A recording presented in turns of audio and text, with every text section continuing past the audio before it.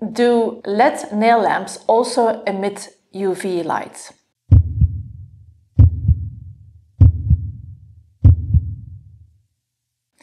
Yes, they do.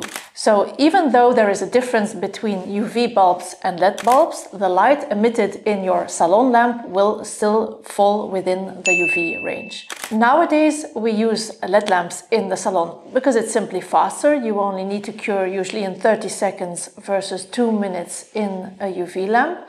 But the light emitted by a LED lamp also falls within the UV spectrum. The difference between light emitted by LED bulbs and by UV bulbs is that the spectrum of a LED lamp is narrower. And so UV lamps emit light of a broader spectrum, so the light is more scattered within inside the lamp. And this is also why with LED lamps it's very important the position of the fingers in the lamp because the lamp is directed to these positions.